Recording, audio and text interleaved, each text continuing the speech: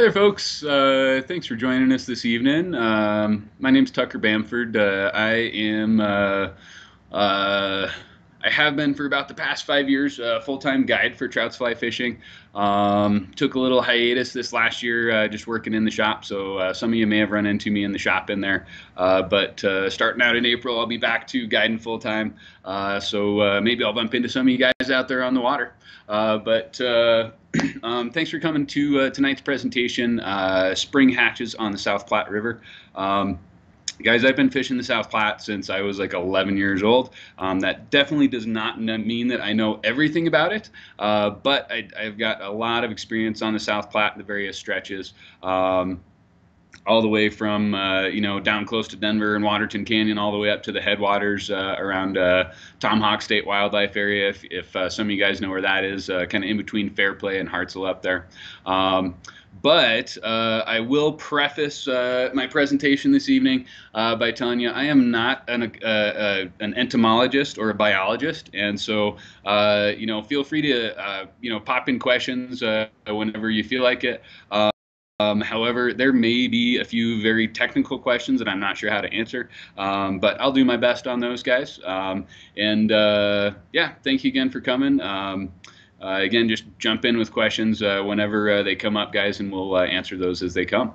Um, so, um, you guys can see on my title slide there. Um, again, we're talking about spring hatches, and uh, to me that means kind of everything from like the uh, the first good hatches uh, at the end of winter, all the way through like say May or so. Um, so that's really the, the kind of time frame we're going to be focusing on tonight, um, talking about all these different bugs. Um, and uh, you can see right on that title slide there, um, that little guy on the tip of my finger is a blue wing olive. Um, one of the uh, best spring hatches, uh, probably one of the most notable ones. Um, but we'll talk a little bit more about those uh, here shortly. Um, but that uh, that little guy is uh, right at the Deckers stretch of the South Platte. Um, so um, let's go ahead and move in uh, to uh, what we're going to talk about this evening, guys. A um, couple topics uh, for discussion this evening. Um, I'm going to briefly touch on equipment for those of you who are either not familiar with the South Platte or maybe a little bit new to fly fishing. Um, mostly tonight, I'm really going to try and uh, dial, dial you guys in on uh, some specific hatch information and uh, uh, understanding some of the uh, the specifics of each bug that we're going to talk about tonight. Um, I'm going to follow that up, of course, with some fly recommendations for uh, you know imitating or simulating each different type of insect, um, and I'll give you some presentation tips as well as far as the most effective way to present those flies to the fish. Um, so uh, first we're going to start out with just talking about some equipment, guys, and uh, hopefully you can see this uh, uh bug approved equipment, and you can see this uh, stonefly uh, that has settled on the the handle on my rod there. apparently he liked the the equipment I was using that day. Um, but we'll also talk a little bit more about stoneflies here shortly, guys. Um, and um, yeah, when it comes to uh, equipment for the South Platte, guys, this is nothing, uh, you know, very different from what you would use on a lot of other stretches of, uh, of uh, river in Colorado. Um, I mean, rods can be kind of like golf clubs where you could choose a very specific rod for the task or for the river that you're fishing in.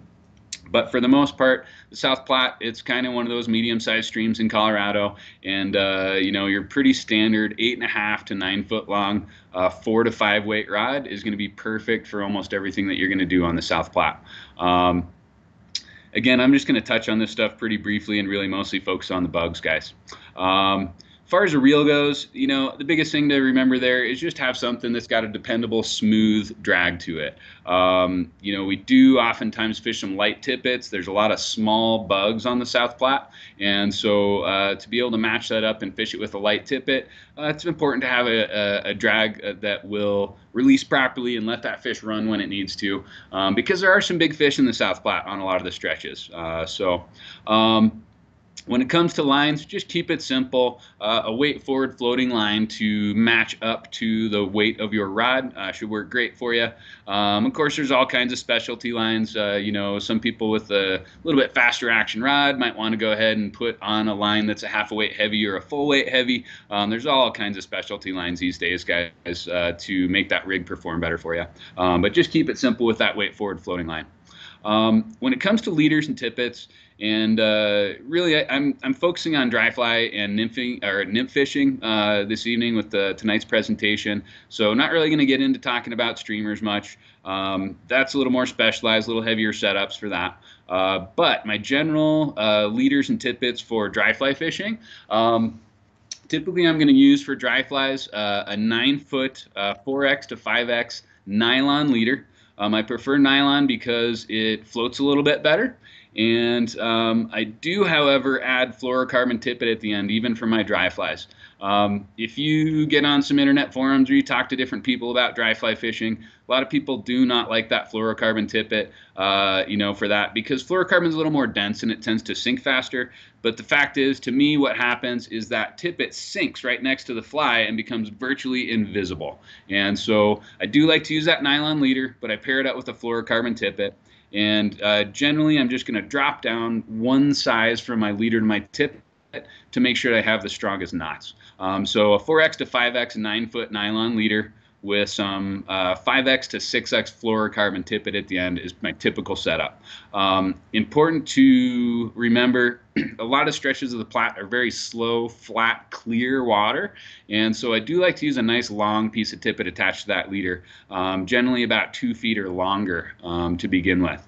Um, with nymphs, uh, I'm going to go a little shorter with that rig. The fish don't, uh, they're not as skittish or, uh, you know, um, touchy when it comes to uh, the spots that they're going to hold and eat nymphs typically. So uh, shorter is fine, and a little bit heavier is good too. So um, for me, a seven and a half foot, 3x to 4x nylon leader um, works great. Um, and then relatively short 4x to 6x fluorocarbon tippet off of that. And uh, you know, when I say short, I mean I could go as short as about eight inches, or maybe as long as you know like 16 or 18 inches. Uh, depends on the conditions a little bit. Uh, but the closer those fish are holding to the bottom, the shorter you want that tippet uh, to make sure that those flies are staying real close to the bottom where those fish are. Um, if you're seeing fish suspending up through the water column a little higher off the bottom, that's when you can get away with a little longer tippet, and that's going to give your flies a little more natural drift but they're going to stay a little further away from the bottom. So that's always kind of the balance that we're trying to uh, uh, ride when uh, we're talking about choosing the length of tippet to add to that nymph leader.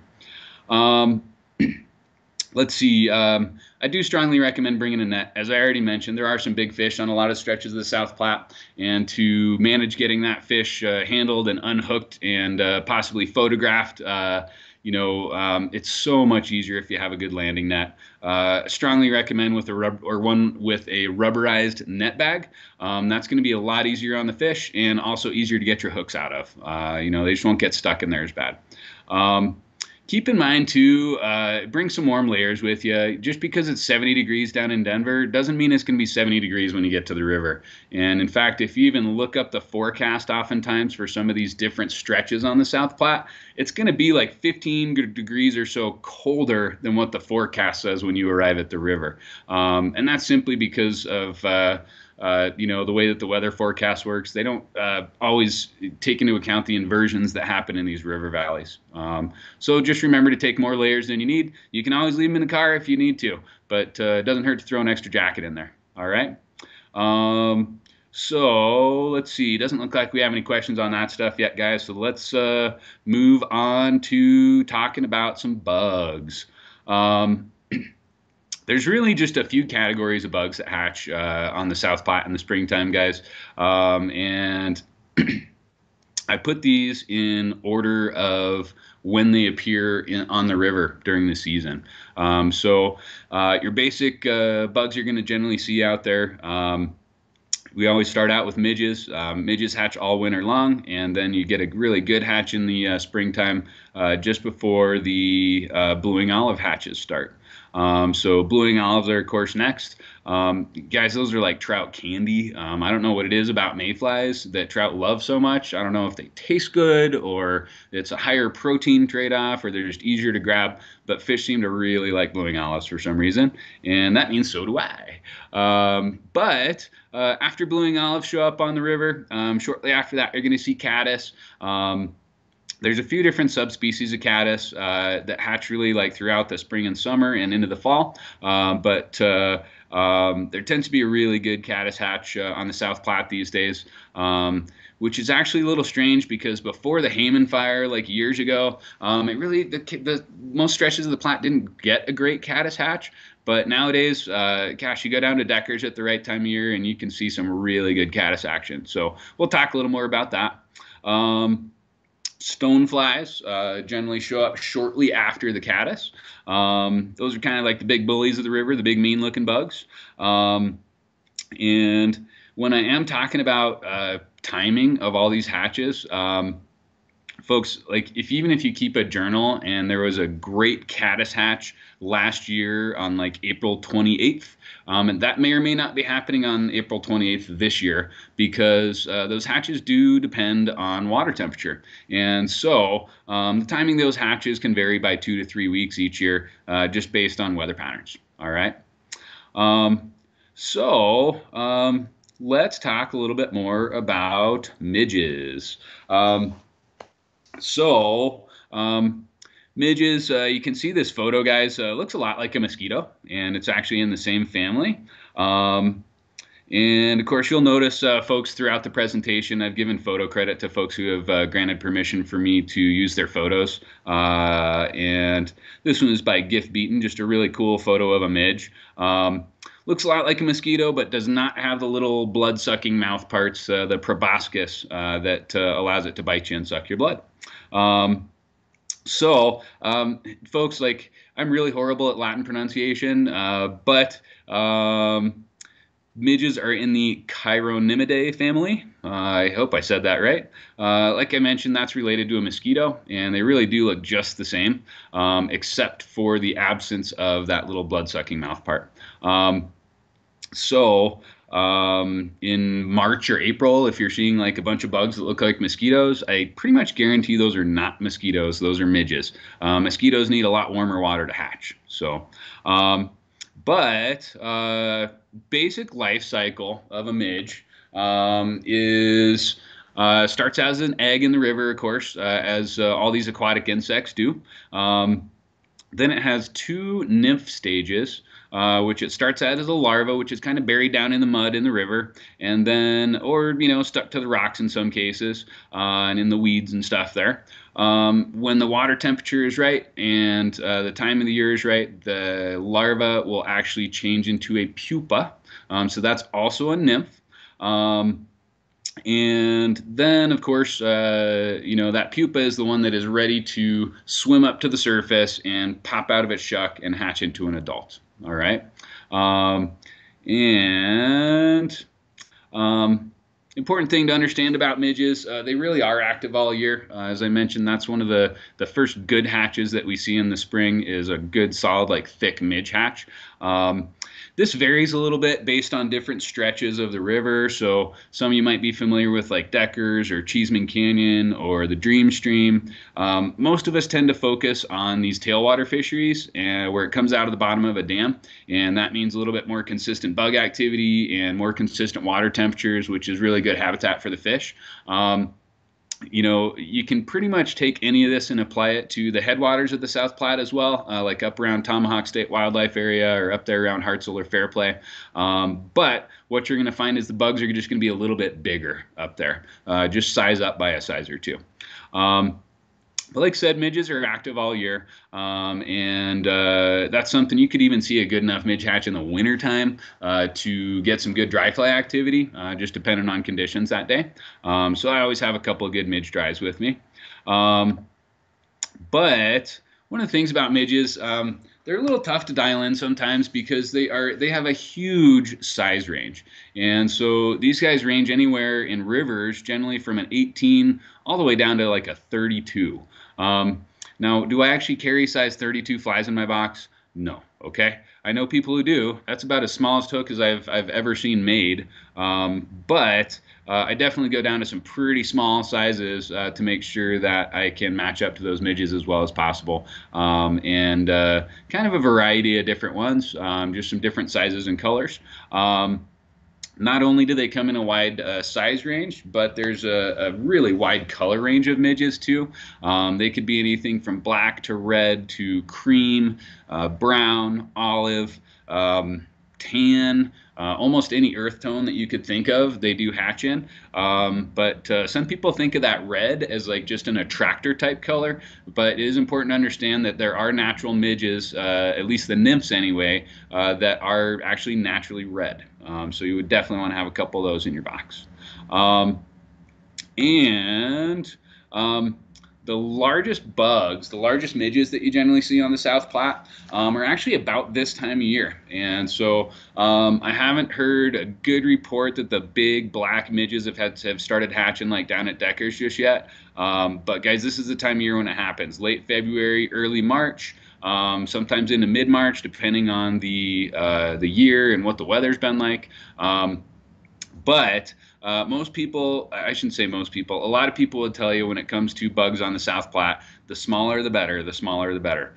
Um, sometimes that's true. Uh, but the fact is, this first midge hatch, if you're throwing little like 22s and 24s, um, you're missing the boat because truly, uh, that first midge hatch that you see uh, every spring that is that thick, like big midge, you're talking more like a size 18 or 20. Um, and it's generally black. So um, something like a uh, Mercury Black Beauty or, um, you know, a, a, Rojo midge or a Jujubee in like a size 18, possibly a 20, um, is going to be a really useful fly for you over the next couple weeks if you're out there uh, at Deckers or Cheesman Canyon or on the Dreamstream.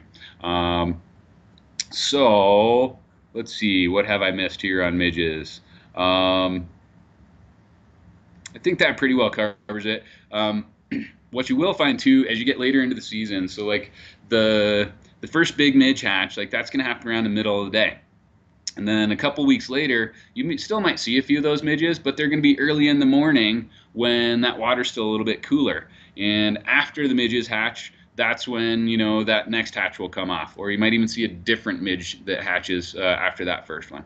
Um, so really important to be just watching uh, for bugs all day when you go out there. And it's not just you know like I'm gonna look for bugs at the beginning of the day and then choose a fly. Um, I'm constantly watching every single bug that flies by me and looking in every little eddy and every little foam line that I walk by um, to make sure that I'm constantly getting new information as to what bugs are hatching. Um, because truly, the bugs that are hatching, that's the ones that the fish are to eat the most.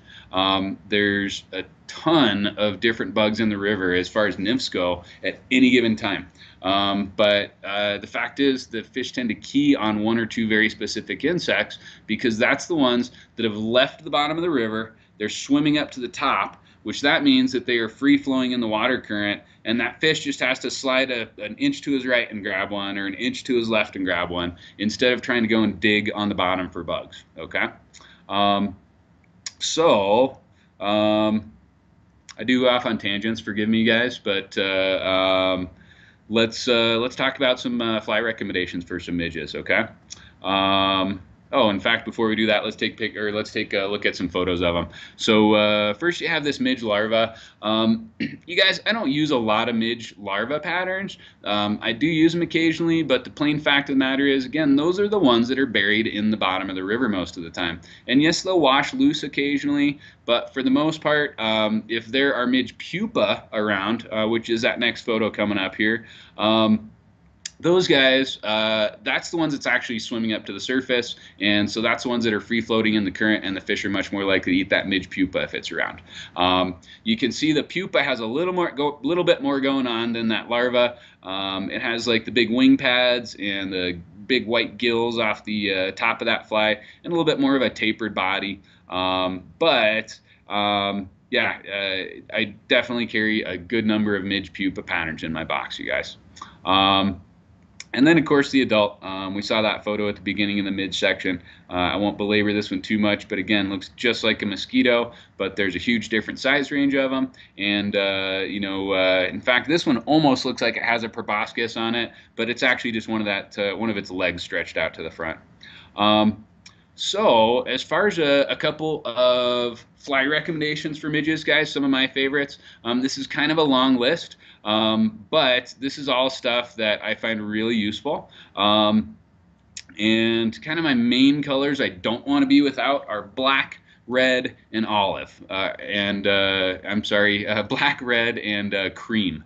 And I will throw in some olive as well, uh, but uh, if you've got black, red, and something kind of white or cream, um, that's going to cover like 85 to 90% of what you need for midges. So I'd focus on those and throw in some browns and olives and stuff too. Uh, but um, mostly, uh, you know, I'm thinking about those blacks, the reds, and the cream colored ones. Um, but I'll just run through these real quick. Uh, Mercury Black Beauty, great general pattern. Uh, size 18 to 24 I carry in my box, just the entire size range they make those in. Um, Mercury Midge, uh, real similar to a Black Beauty, but that's white. Uh, so again, I carry basically that entire uh, size range personally uh, in my box. Um, as you're starting out, of course, like if you're just putting together a fly assortment, I mean, this might seem like an awful lot of bugs to put together. So at least just make sure that those colors are represented, and you know, uh, choose a little bit of a size range because uh, again, those those midges do have a huge size range. All right. Um, Top Secret Midge, another really good one. Sizes 20 to 24. I'm mostly using the smaller ones on those guys. Um, Zebra Midge, probably about the most popular midge pattern out there. Um, black, red, and olive are my colors on those guys, and, uh, and sizes 18 to 22. Um, Rainbow Warrior, that's really just an attractor, but for some reason they seem to work really well in certain midge hatches at times. And so uh, the pearl is definitely my favorite color on that Rainbow Warrior, but I do occasionally use the black or the red as well. Um, but something about that Rainbow Warrior, it's real flashy, and when midges hatch, they actually form a little gas bubble inside of their nymphal shuck, which is what helps them rise to the surface to hatch. And so, um, you know, something with a little flash to it, or like that mercury bead, like on those mercury midges or black beauties, um, is real handy. Um, Massacre midge, another really good one. That's got a little uh, foam on the top that helps it float off the bottom a little bit. Um, Pure midge larva is another good one in red or black. And, uh, you know, again, pretty small sizes on those guys. Um, a crystal midge is another one that I use frequently. Um, and uh, very similar to a Manhattan midge, uh, if any of you guys have uh, heard of that Manhattan midge, um, but that's another good one. Um, and let's see, uh, looks like we have a question coming in. So um, what have we got there, Yvonne? Uh, Chris is asking, uh, for size 24 pupa, do you still try to get eight body segments, or is that not as critical as you go down in size? Honestly, I'm not like I'm a very technical angler and I like dive further into details than most people, but I don't worry about eight body segments on my midges, guys. Like on a size 24 Black Beauty, if I'm tying those myself, it's probably gonna have like four body segments because I just want to make sure enough of that black thread shows through in between the wire so that the uh, you know the primary color of that thing is still black. Um, but uh, I mean, if you want to have like the most absolute most realistic looking midge, sure, you can put eight body segments on it. Um, I don't bother. So, uh, it looks like we got another question coming in. Uh, I'm just going to note that yes, that is true, Tucker. You you are the most uh, analytical angler I know. Uh, and that being said, uh, the colors. So, do you have any rhyme or reason, any seasonal timing, uh, any conditions that you're picking one color over the other? Um, man, um, I wish I could generalize it for you, um, but the plain fact of the matter is, the one that I can really dial in for you is that big midge that I already talked about, which is that big, like number 18 to 20 black midge that pretty much starts the hatch season on the South Platte. Um, red ones tend to maybe work a little bit better in the wintertime for me or, you know, early in the mornings, but um, yeah, unfortunately, it's really just uh, it's trial and error and it's observation. And so if I see a light colored midge flying around, um, I'm going to put on a light colored midge, like a mercury midge. Um, if I see a dark colored midge fl- flying around, chances are I'm just going to put on something dark like a Mercury Black Beauty or a Top Secret um, or uh, you know some other sort of dark pattern like that. So. But yeah, I wish I could make like a, a, cheat sheet of midges for you. But midges is a huge group of bugs, and so you just got to do the best you can observing every day you're out there. So, um, cool. All right. Uh, appreciate the questions. Keep firing them away, guys. Okay. Um, and gals, you know, obviously. Um, so let's move on to, to a couple midge dry recommendations. I keep my dry flies for midges a little bit simpler, you guys. Um, you know, uh, the fact is like 80 to 90% of what the fish eat is below the surface of the water. And so I tend to focus my assortments more on that. Uh, but you definitely want to be able to take advantage of dry fly activity when it happens. Um, personally, on the South Platte, most stretches, I am only throwing dry flies when I already see fish rising. Um, you know, there's just, uh, uh, there's so much food in the water in this river that you, if you're just blindly throwing dry flies out there, you're probably going to have kind of a tough time. Um, but a Griffiths gnat, great general uh, midge pattern. Technically, it imitates a cluster of midges all clumped together. Uh, but uh, remember when you're matching those up, guys, uh, size is the most important thing. And so even though that Griffiths gnat might not look exactly like uh, the midge that you're trying to imitate, um, if you get the size right, then you're like 90% of the way there. All right. Um, Morgan's midge, a little more technical midge pattern. Love this one. Um, it's got a little trailing shuck attached to it. And so it looks kind of like a midge that's trapped on the surface, uh, still attached to its shuck, so it can't fly away yet. And I think the fish kind of key into those sometimes um, because they realize that that bug is helpless. And all the other ones are like flying and skittering around, and that one's just sitting still waiting to be eaten. So, uh, but black and gray are my favorite colors on those. Pretty small ones, 20s to 24s.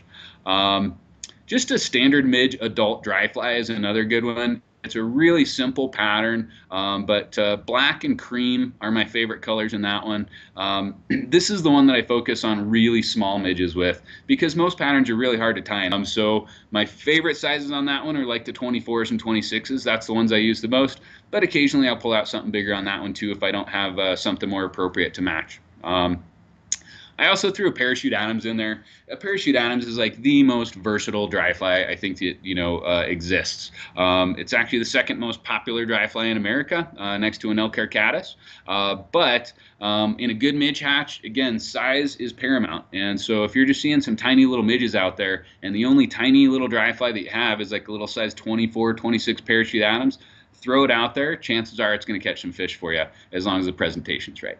Um, Cool. Let's see. Um, wow, I'm moving really slow and I got a lot to cover, so I'm going to have to pick up the pace a little bit here, folks. Um, all right, so moving on to blue wing olives. And uh, again, keep firing uh, questions away, uh, you know, as they come up, folks. Um, really cool picture of a blue wing olive here uh, from uh, troutnut.com. Uh, cool website if you're kind of a bug geek like me. Um, just some really neat photos, uh, some nice close-ups of some bugs. Um, but blue wing olives, uh, as we move down to the uh, the text slide here are uh, in the mayfly family uh, called Baetidae. Um, so those are related to pale morning duns, tricos, red quills, drakes, sulfurs, uh, and uh, more mayflies. Um, but uh, they are a little bit different life cycle than a midge. so a blue wing olive has only one nymph stage and then two adult stages. So that guy starts as an egg in the river and then uh, hatches into that nymph. Um, the nymph lives in the river generally for about a year, um, depending on the subspecies. And then uh, when the timing's right that following year, it hatches into a dun. Um, the dun is that freshly hatched uh, blue wing olive. And um, then uh, the dun will molt. Um, and after uh, you know, that dun molts, um, the wings become clear, and that makes it obvious that that one is actually a spinner. Um, the spinners are the ones that are the sexually mature bug that are ready to mate. So they get into a mating swarm, and then the females come down and drop the eggs, and the cycle starts over. Um, I'll show you some photos of those here shortly, uh, so you can get a better idea. Um, so, um, kind of a little cool uh, tidbit uh, blue wing olive nymphs uh, and pretty much all mayfly nymphs molt several times before they hatch. So that means they shed that exoskeleton while they're still down in the water. They're not actually hatching into an adult. They're just shedding that exoskeleton so they can grow larger kind of like a, a, snake shedding its skin. Um, many nymphs do that. Um, freshly hatched duns look like little tiny sailboats floating down the water. So, um, you know, if you see uh, in like March or April or May some little tiny sailboat looking guys floating down the water, um, chances are what you're seeing are blue wing olives. Um, that upright wing on that freshly hatched uh, blue wing olive dun um, is a lot the shape of a sail on a sailboat. And uh, they kind of move in the same way too. The wind will blow them around, they kind of face into the wind. Um, so, um, in the springtime, blue wing olives hatch in late February to early June uh, on most stretches. Um, frankly, uh, depending on the stretch, if you're going higher up, like to, to Tomahawk or something, folks, like that should be still frozen over right now. So, like, you're probably not going to see any blue wing olives right now up there. Um, but on the right day, you might see some in Deckers or Cheesman Canyon or up on the Dream Stream uh, or possibly 11 Mile Canyon. Um, they all, blue wing off also, or blue wing olives also hatch in the fall a little bit different subspecies. Uh, but again, today we're focusing on the spring hatches. Um, one important thing to note about blue wing olives uh, and most mayflies is that the best hatches do occur on cloudy, drizzly, or snowy days. And um, folks, like a lot of people want to stay home when the weather's crummy, but I will tell you, like a calm, light drizzly day or a calm, snowy day um, like could be the best blue wing off activity that you have ever seen in your life. Um, so um, you know, I know you don't want to like drive through a foot and a half of snow to get to the river or something, uh, but just because it's going to be a little cool and drizzly um, doesn't mean you should stay home. In fact, in my opinion, like if I could choose my day off of the week based on the weather um, in the springtime, I would choose those crummy, like snowy or drizzly days uh, to go out and fish because that's when you're going to get the best dry fly activity typically on blue wing olives. Um, what happens is when that bug hatches, it has to dry out its wings, uh, just like a butterfly, like drying out its wings and stretching them out before it can fly. Um, so um, on a drizzly or cloudy or cool day, uh, they what happens is it takes longer for those wings to dry out, so more bugs build up on the surface of the water, and that sometimes will tip the scales to where there's more food on the surface than there is down below, and that's going to get those fish keyed onto surface activity. Um, and so, uh, like I said, don't necessarily just automatically stay home on those uh, those kind of colder, uh, drizzly days. Uh, it might seem like kind of a miserable day to be on the water, but that could be the best, you know, dry fly action you get all year. All right. Um, so moving along, uh, we'll just uh, show you a couple of photos of some blue wing olives, you guys. Um, there's uh, first a blue wing olive nymph. Um, you can see uh, now this one, of the tails broken off. Some have two tails, some have three, um, depending on the subspecies. Um, this particular one is obviously getting ready to hatch because you can see the wing pads on its back are very dark. Um, those go almost black just before those blue wing olives hatch. And so that one's pretty much ready to go. Next, uh, we got the blue wing olive dun and spinner. Um, the dun is on the left, the spinner's on the right, and that dun you can see has an opaque kind of grayish dun wing um, and uh, that nice olive body. Um, the spinner, again, this is after it has molted one more time and is then uh, sexually mature, but you can really see clearly in this photo from Troutnut those nice clear wings on that spinner. Um, they're actually transparent. And uh, that's the giveaway whether you're seeing duns or spinners. Uh, but typically what's going to happen is you're going to see the duns, um, you know, more kind of middle of the day. And uh, typically the spinners in the evening, but sometimes the following morning um, they'll come back to lay those eggs.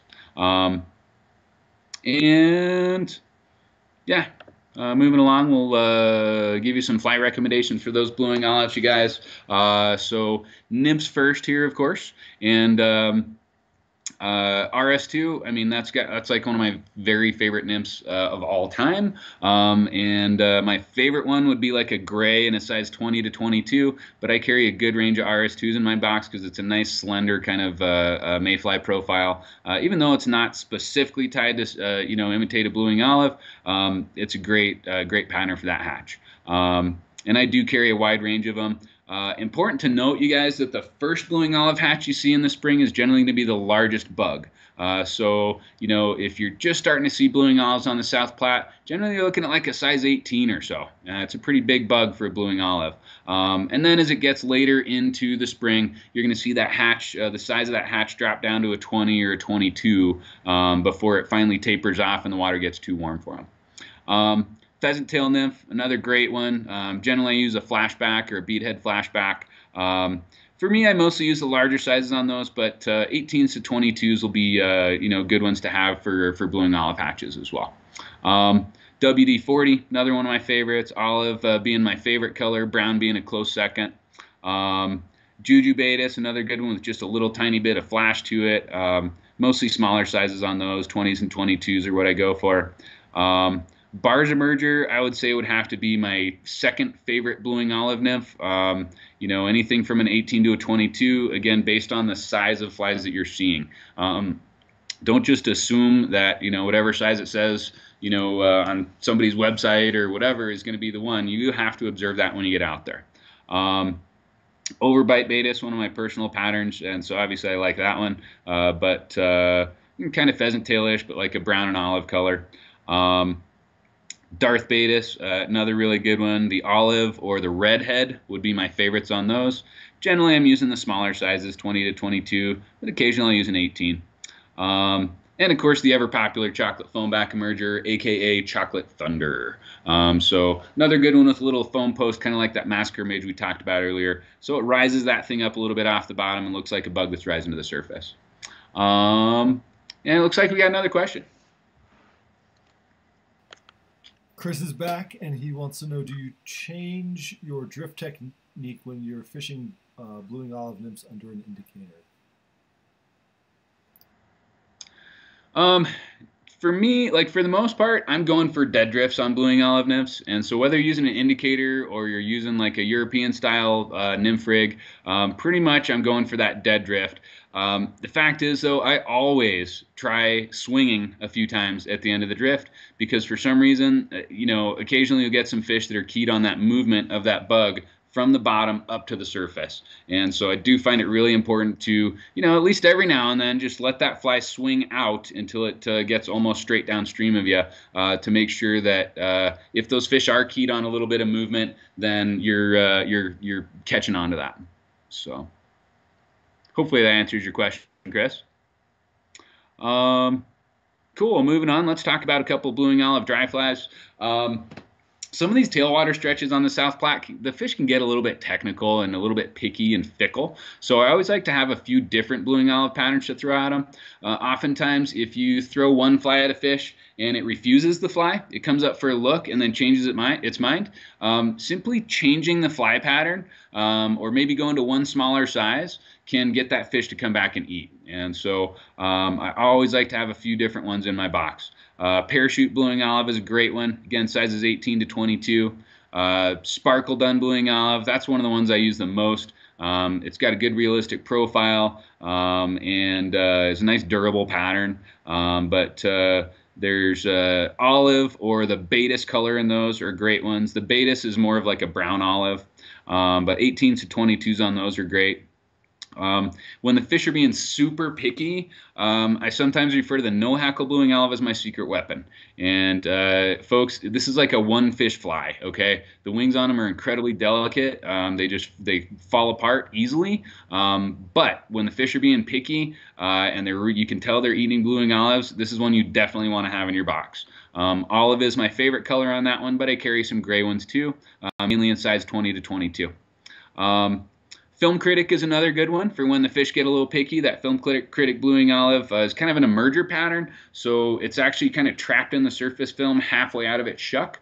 And uh, when the fish are being touchy, particularly when there's an awful lot of bugs around, um, then you'll find uh, sometimes that Film Critic will do real well for you because they're just looking for the low-hanging fruit. They just want the easiest bug to grab, which are going to be those ones that are still trapped in the film.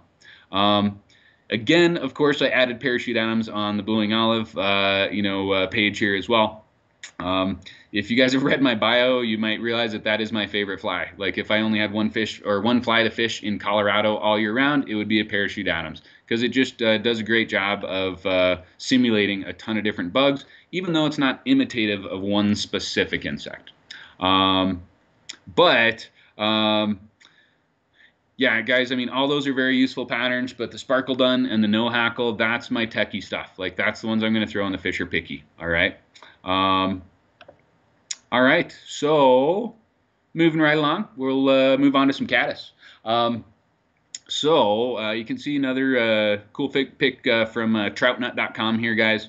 Um, this is uh, a caddis, and uh, for those of you who are not familiar with those, they look like a little moth when they're flying, um, but when they uh, uh, sit uh, on something, when they, they rest on something, um, their le- or their uh, wings actually fold down around their body. So they don't look quite the same when they're sitting still, but flying around, they just look like a small moth.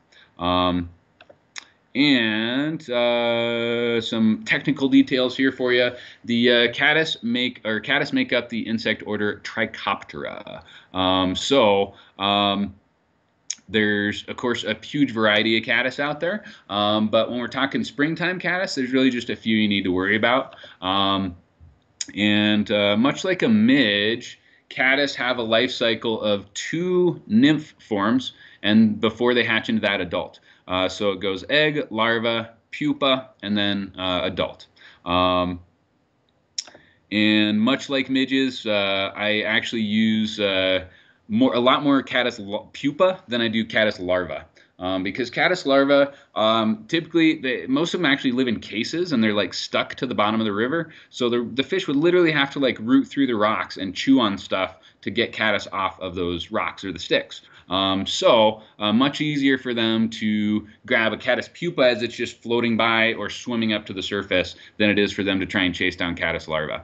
Um, I do use some larva patterns though because some of those will get knocked loose and early in the spring when there's not a lot of caddis pupa around, sometimes a larva pattern works pretty good.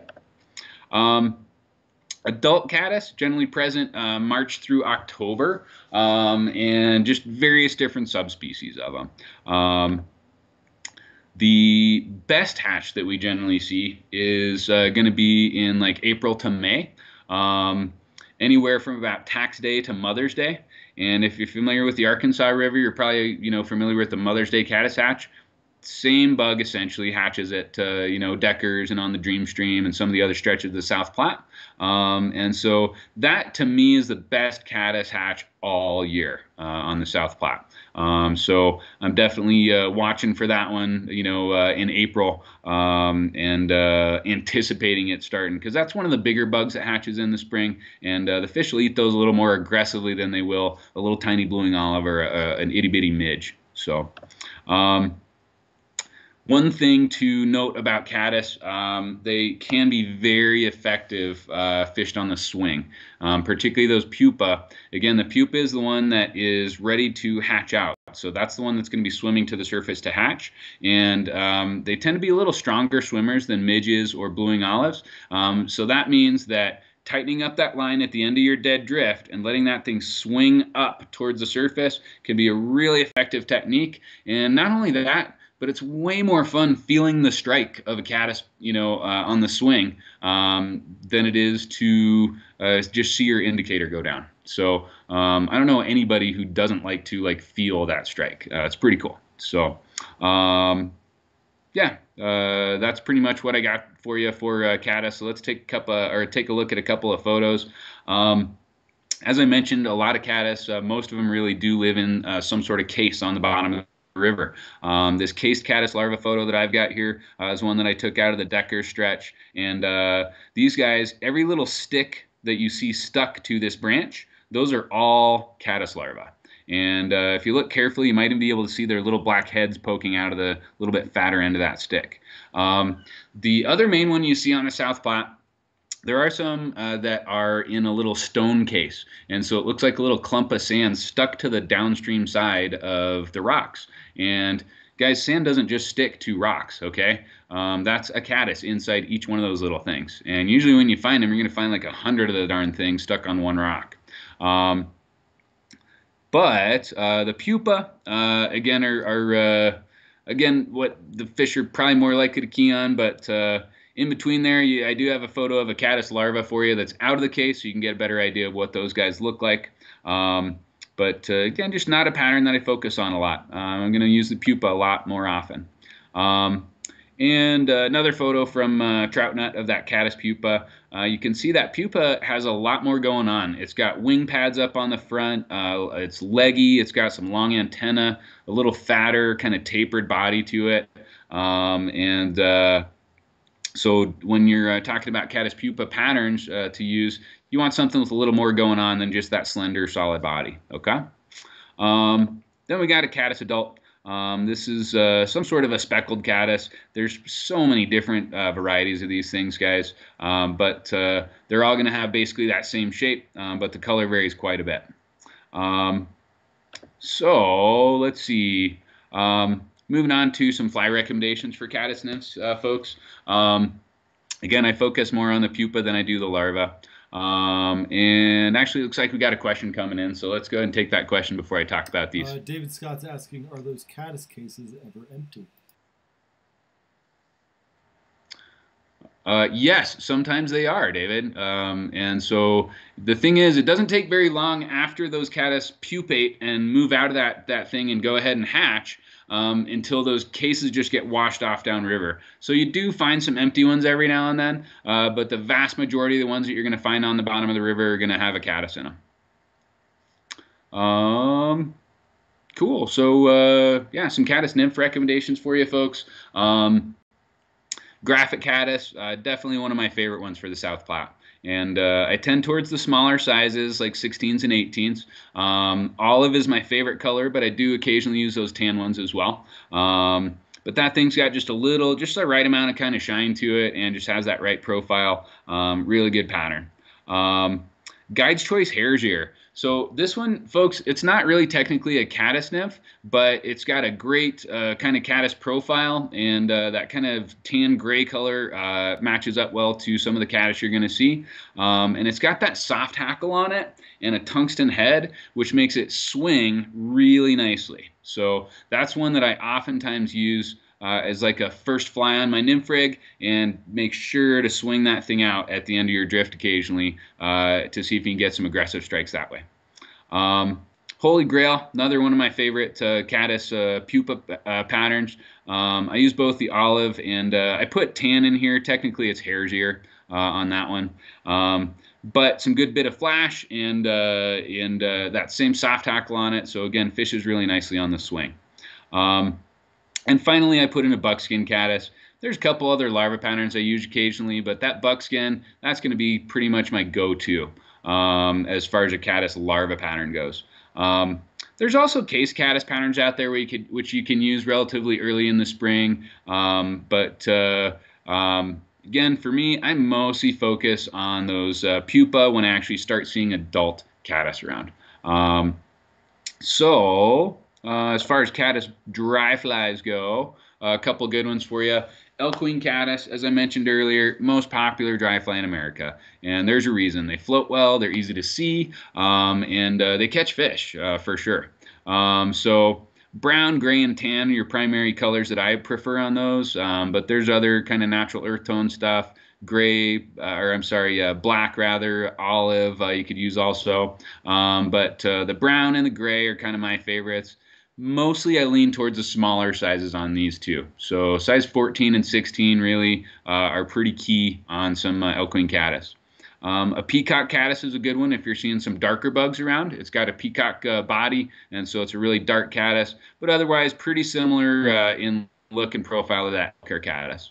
Um, Spotlight caddis emerger, another good one. Um, that's kind of an emerger pattern that the butt hangs down into the water, uh, and so um, it looks like, uh, uh, again, kind of like that uh, um, Morgan's midge we were talking about earlier. It looks like it can't fly away yet. It's still kind of stuck there, and uh, sometimes those fish really key on that.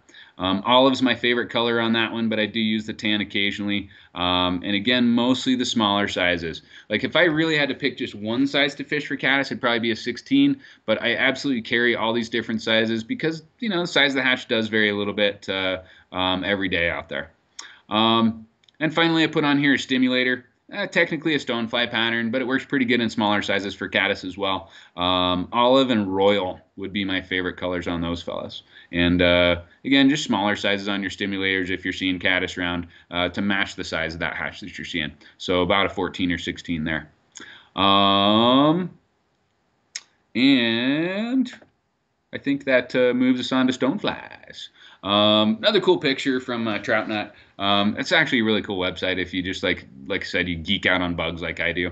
Um, and uh, that is an adult stonefly. Um, and uh, I wish I could tell you exactly what species, but it's obviously like a bright uh, yellow color there. Um, most of your stoneflies are going to be like either yellow or brown or black. Um, and uh, moving on to some technical info for you. Um, oh, actually, looks like we got another question coming in. So why don't we go and take that before we talk about this? Uh, Jason's asking, what hackle do you use on the Elkwing caddis? What hackle? Um, so it depends on the the the one. Um, generally, uh, like the easiest thing, if you've seen Whiting 100 packs, those things are all sized so that all the feathers in there are basically the same size, so you don't have to worry about sizing them out. And it's just a good long dry fly hackle that's really easy to work with. You can get multiple flies out of one hackle. Um, but uh, fact is, the color is going to vary, of course, based on which color bug I'm tying. So, you know, browns and grays, again, are my favorite ones. So on a brown elk-hair caddis, that's going to be brown, you know, dubbing underneath, and then like a ginger or a fiery brown hackle on top of that. Um, I do like to use a little smaller size than you would for a typical dry fly um, because uh, mainly um, I'm just going for extra buoyancy out of that hackle instead of like a really like obtrusive uh, leg. So, um, but then uh, yeah, brown on the brown ones, and uh, then uh, you know like a dun or a dark gray uh, color on my on my gray caddis. So, but those whiting 100 packs, if you haven't used those, they're awesome. looks like we got another question. Sweet. Uh, John's asking, so the his Elkwing is a go-to sort of uh, hopper or indicator fly uh, for for him. Do you recommend any others when small, throwing small flies behind? So when throwing a double dry fly. Um, Yes, you can use a lot of different stuff for that. It depends a little bit on what I'm seeing. But I'll be frank with you, John. Um, my favorite lead fly to use on those little uh, double fly rigs when I'm throwing something small dry behind it is definitely an elk caddis. They're just so easy to see. They're so buoyant, and it's not like something big that's going to splat and scare the fish. Um, it's really important when you're doing that kind of technique. You know, you don't want to throw like a size 8 grasshopper on and then put a size 22 blue wing olive behind it. At least I don't like that way because what happens is those fish are up there rising on top. That big old hopper splats right on their head and scares them down. Um, so I want something no bigger than like a 14, oftentimes a 16 or so, just big enough I can see it easily. Um, but some other patterns I sometimes use for that would just be like a larger parachute Adams, like a size you know 16 or, or so parachute Adams would be a good one. Uh, Stimulator's another good one that floats really high and is good and easy to see. Um, you could absolutely put on like a, a, a stubby chubby or uh, some other like uh, small foam pattern. But again, just don't go bigger than about a 14 or a 16 with those guys, and make sure it's something that you're going to be able to see easily. And that's really uh, my main criteria there. All right. Um, cool. So. Uh, keep firing away the questions, guys. Appreciate that uh, you all are uh, engaged out there this evening. Um, so, stoneflies. Um, Stoneflies make up the insect order Plecoptera. And uh, these guys are kind of the big bullies of the river. Um, they're big and mean and, and look gnarly. And uh, the fact is, though, like they can't bite you or anything, but they uh, definitely look like little weightlifters or something. Um, these uh, fellows have a pretty uh, uh, simple life cycle. They just go from an egg into one nymph stage and then hatch into an adult. Um, so um, that's basically the simplest life cycle of any of these bugs. Um, one interesting tidbit about stoneflies is they do live three years as a nymph. Um, so many of these insects are going to live for like one year in the water before they hatch. Some will live longer than that, but stoneflies pretty typically are going to live three years as a nymph before they hatch into that adult insect. Um, what that means is you actually have three year classes, so three sizes of any given species of stonefly in the river at any time. Um, which means you can be pretty flexible in your, you know, size choice. Um, and uh, you know, stonefly, frankly, sometimes just makes a good attractor pattern, even if you're not seeing a good stonefly hatch. Um, you know, oftentimes uh, just putting on a stonefly, it's a big enough meal that the fish will move for it, and uh, you get the right one, and, and, you can have a pretty good day, even if there's not a good hatch going on. Um, so stoneflies also, like uh, those blue wing olives and many mayflies, stoneflies molt numerous times as nymphs before they hatch into an adult. Um, what that means is uh, sometimes you're actually going to see stonefly shucks floating down the river or in the eddies or that type of thing. Um, and that may not necessarily be a sign that there's a hatch going, um, but what it does mean is those stoneflies are out and active because to shed that nymphal shuck, that stonefly has to crawl up on the outside of a rock where there's a little more current and then crawl out of that nymphal shuck and let go of it. Um, so when you're seeing those stonefly shucks floating around, could be a good sign that you might want to try a stonefly nymph. Um, beyond that, I would tell you it's actually a good idea to try a light colored stonefly nymph because when stoneflies do molt, then they become uh, as light as that thing is ever going to be in color. So like a golden stonefly freshly molted is actually going to be like a really kind of bright yellow. And uh, just before they molt, they're going to look more kind of like brownish and yellow. Um, so if you're seeing a lot of stonefly molts around, um, it's a good idea to try like a lighter or brighter colored stonefly, like a light tan or a yellow. All right. Um, one other cool tidbit about stoneflies, they crawl up on land to hatch. So this is one of the few bugs that does not actually swim to the surface and hatch there and then wait for its wings to dry. Um, they actually crawl up onto the bank somewhere or up on a rock in the middle of the river, but out of the water and then go ahead and go ahead uh, and uh, split their carapace and hatch. A um, couple things that means to us as anglers.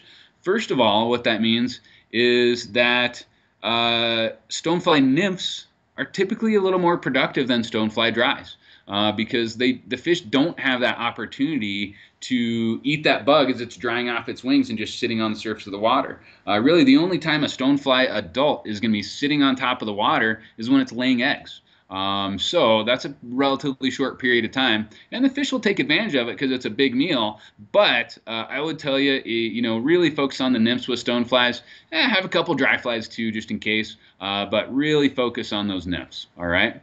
Um, stonefly nymphs, just like caddis, um, because those stonefly nymphs are actually crawling to the bank to hatch, that fly swinging at the end of your drift looks very, very natural to the fish because that is it's just like that fly or that adult uh, I'm sorry that uh, stonefly nymph skittering along the bottom crawling out to the edge of the river getting ready to hatch. So if you are seeing adult stoneflies around definitely definitely definitely swing some stonefly nymphs all right?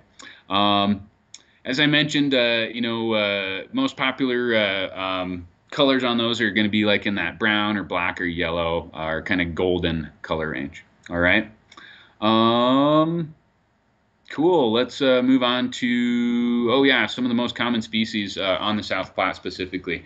Um, this time of year, folks, you actually get what they call a winter stonefly or a small black stone. Um, those are about a size 16 to 18. Um, not a great thick hatch of those, but uh, even just seeing a couple of those could key into the idea that it'd be a good idea to put one of those on, like at least as a lead fly on your uh, on your rig. Um, and that's one that a lot of people miss. They're too busy throwing eggs or leeches or scuds or something this time of year. Um, but that small black stone can be a good one. Um, next one you generally see uh, is a large brown stonefly. It's going to be about a size 8 to 10. Those are mostly going to hatch uh, in like the April-May time frame. Um, where those uh, small black stoneflies I talked about, that's like early, early season, like February and March. Um, after those large brown stoneflies come a large golden stone. Um, that's also going to be about a size 8 to 10. Frankly, the nymphs are kind of tough to tell apart sometimes, um, but that's going to be typically hatching a little after those large brown stones, uh, kind of more in that May-June time frame. And I threw in yellow Sallies down here just because it's the other stonefly that's a, a pretty good hatch. But frankly, you guys, that's more of a summer hatch than a spring hatch, so I'm not going to belabor that one too much. But that's just a real small yellow stonefly, anywhere from a size 14 to 18. And they're kind of more of a bright yellow than they are like a golden color like a lot of the other ones. Um, So uh, let's take a look at some uh, stonefly picks. Um, so this is a stonefly that I pulled out of the South Platte uh, down around the Decker stretch. Um, like I said, big chunky bug. They look kind of mean. Uh, you can actually like feel them clinging to you with their little uh, you know feet uh, when you grab them. Um, but cool looking bug. They can't bite you, so pick them up, play with them, um, and then uh, put them back in their home so that they can be uh, trout food and, and make those trout nice and healthy. Um, next photo is stonefly shucks. So folks, this is how you know that there's been a recent stonefly hatch, is actually looking along the banks uh, where stoneflies might have crawled up. And uh, this is kind of a group of stonefly shucks that were uh, under a bridge on a cement piling. Um, and there were quite a few of them. You actually can see in the background, you know, there's probably 40 or so of these things uh, just along this piece of concrete right here. Um, then you got the stonefly adult. And uh, um, again, cool bugs, they can't hurt you. Um, but uh, um, you definitely feel it when one of these things lands on you or is crawling around on you or something. Um, and it'll freak you out a little bit. But uh, you know, like I said, no no uh, harm possible from these guys other than like you know uh, freaking out and like slipping and falling in the river. Uh, but hopefully that doesn't happen to you guys.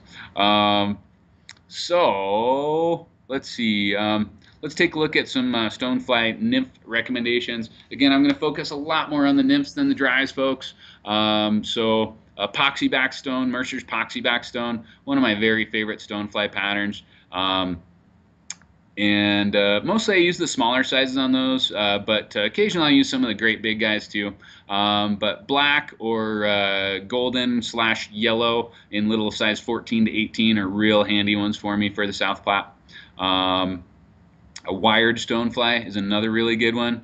Um, you're going to find with a lot of stonefly patterns, they have a lot of weight to them because stoneflies tend to live in fast oxygenated water. And so that wired stonefly is a good example. It's kind of similar to a copper john where the whole body's wire and then it's got a big bead on the front.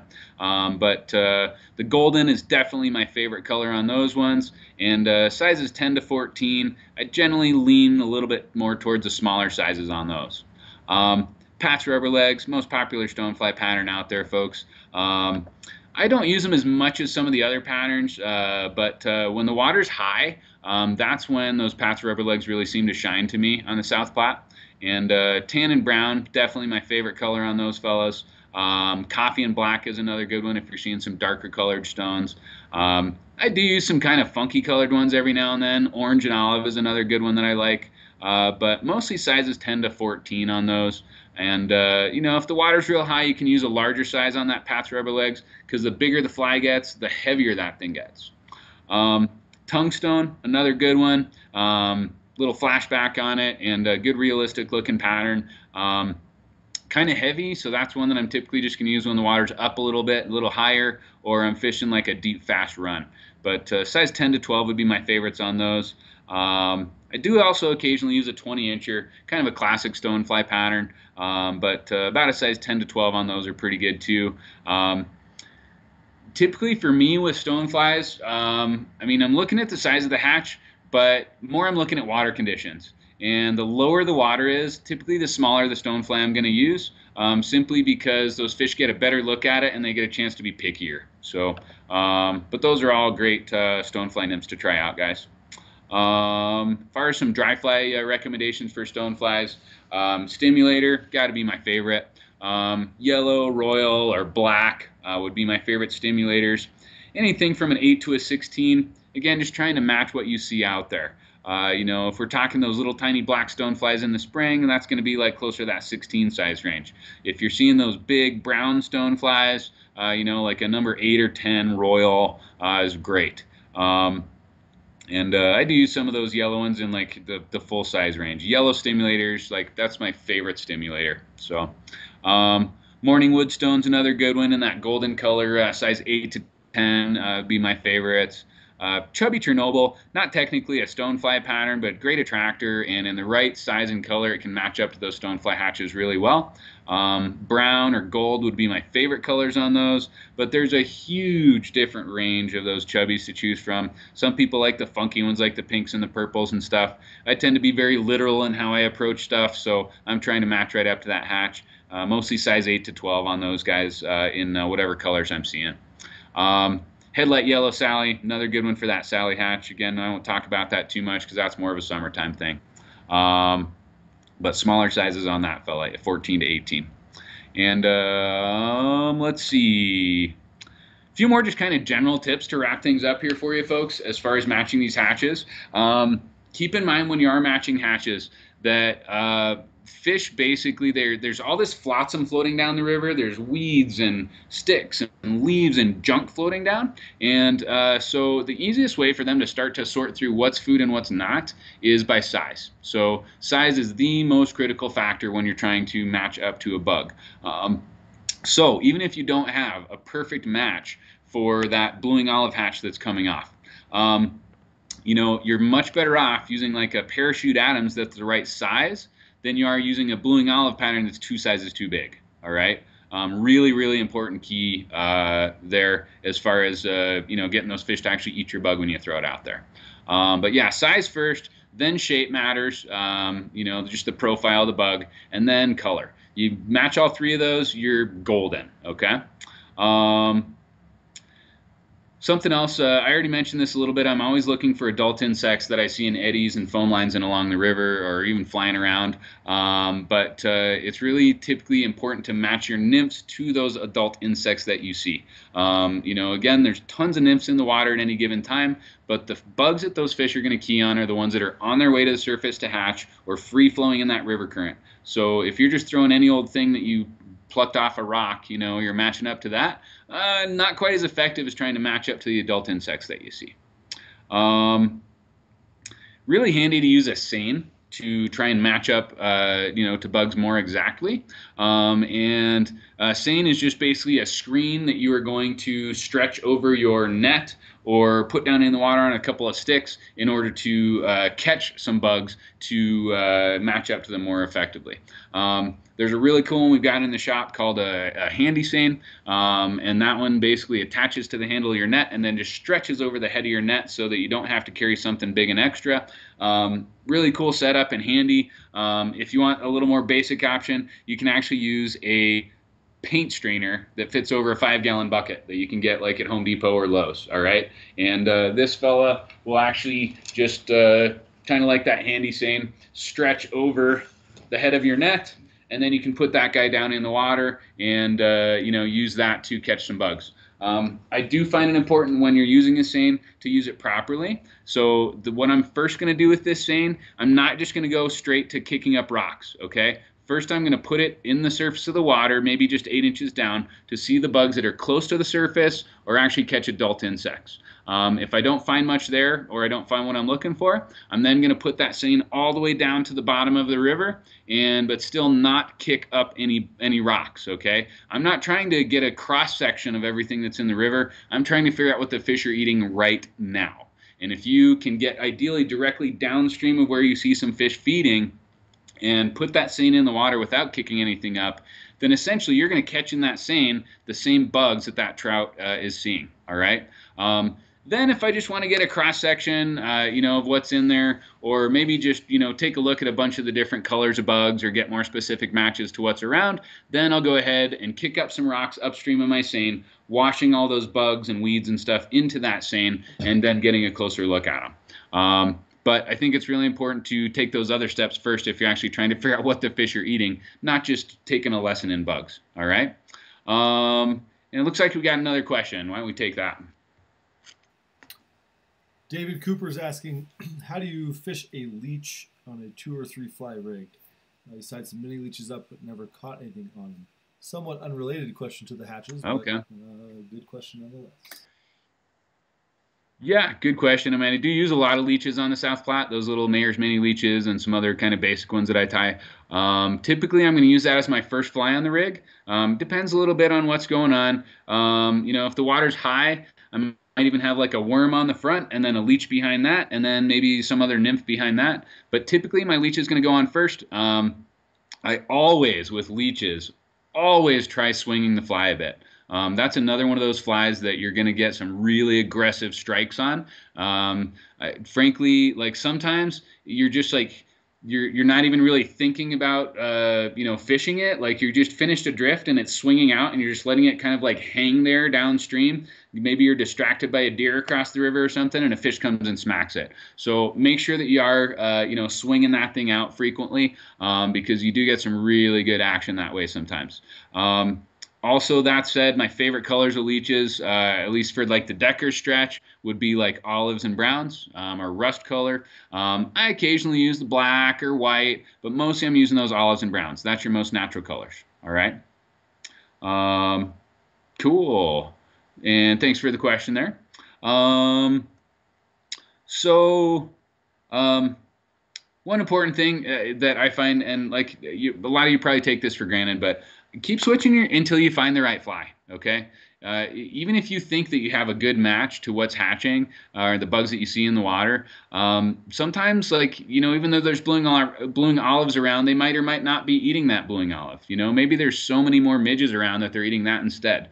Um, you know, maybe the size blue wing olive that you're using is one size too big, or it's a shade off on the color. Um, or maybe you need something with just a little tiny flash to it, like a Juju Baetis or something. So just keep switching around those patterns until you find something that works. Um, and you know, it's it's not uncommon for me to tie on 12 to 15 different bugs over the course of a day of nymphing. Um, sometimes even more than that if it's a it's a tough day um, before I really figure out something that's working good for me. All right, uh, which is good incentive to sit at home and practice up on your knots and make sure you're competent on those.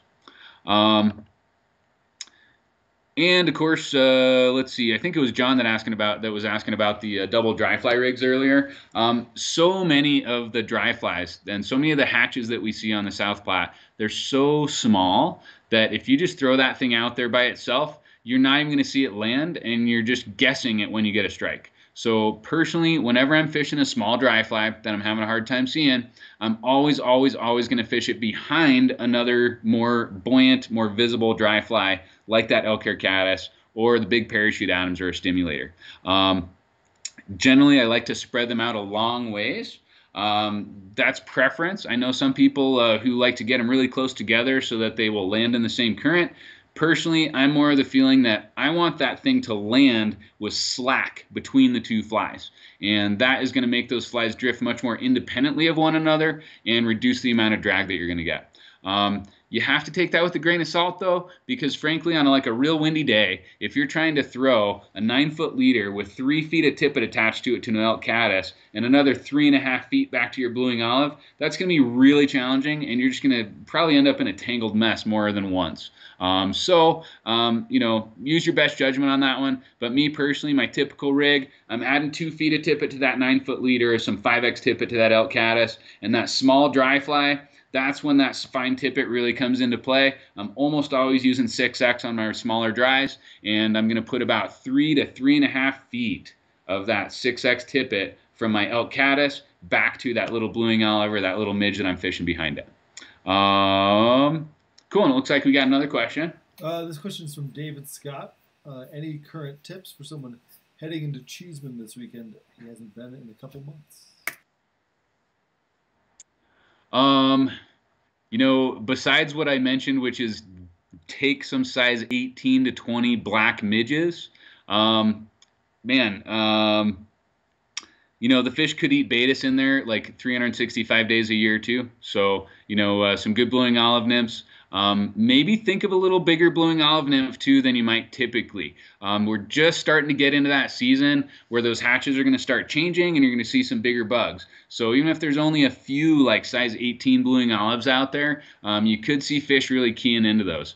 Um, it's kind of a tough changeover season though, because like right now, mostly we're using like little size 22 and 24 midges in there. Um, but uh, take some of those large black midges and take some, uh, you know, size like 18 to 20 blue wing olive nymphs, like your Juju Baetis, like your RS2s, uh, like your Darth Baetis.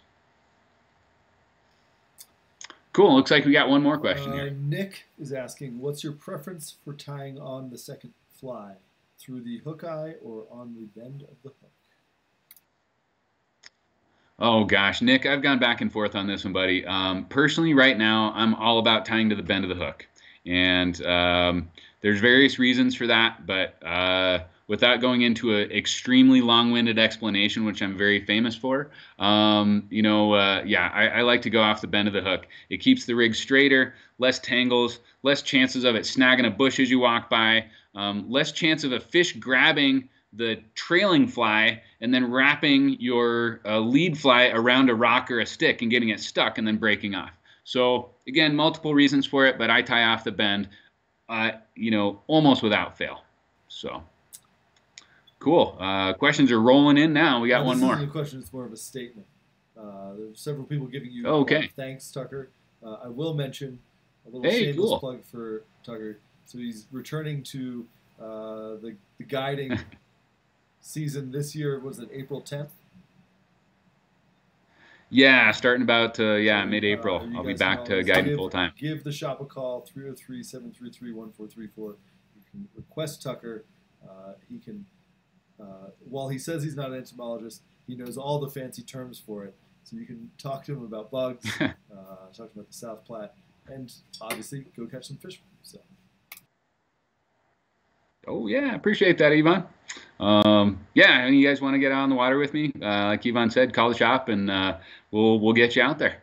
So, uh, um, last call for uh, last call for questions. Josh Diller's in the chat, another Trout's Guide uh, as well. So uh, hey. yeah, last call for questions. There's probably like a 10, 10 15 second delay, so we'll awkwardly sit here and wait for those last call questions. Cool. All right.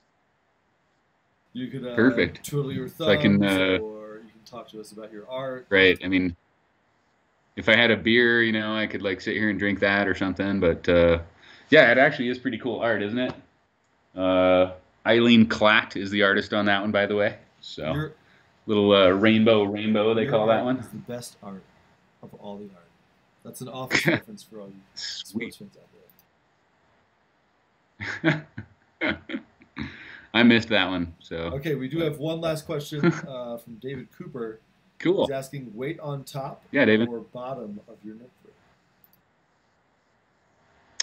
Personally, um, my nymph rigs, and I mean I vary it a little bit, but for the most part, I like 98% of the time it goes indicator, then my weight, and then my first fly, and then my second fly and third fly.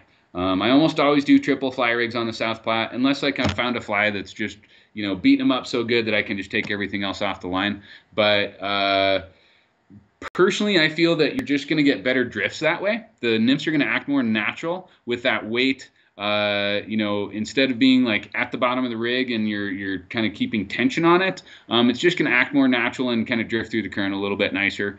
Um, fact is, though, of course, like if you're into Euro nymphing, that's a different ball game. And your anchor fly with the weight on it goes at the very end of the rig so that you can control that depth of the thing manually with your rod. Um, fact is, uh, yeah, mostly I stick to indicator, you know, American nymphing, and uh, yeah, weight always goes on first. That those flies look uh, nice and free behind it. So appreciate the question, last, David. Last question for sure. One more. One more. Uh, yeah. JS Customs. He's a beginner fly fisher here. He uh, fishes on the Madison in Montana. Not the worst. Uh, cool. How is a good way to figure out hatches, what sizes, uh, sizes, and what flies to fish? Um, I mean, so that could be kind of a loaded question. I could answer it different ways. Um, mostly, it comes down to your observation of knowing or of understanding, like, okay, like I have to actually see the bug that's out there and try and match up to that bug. Um, but you got to do some research beforehand to be prepared with the right bugs. So you want to get in touch with a local fly shop close to that river that you trust um, and get some good fly recommendations.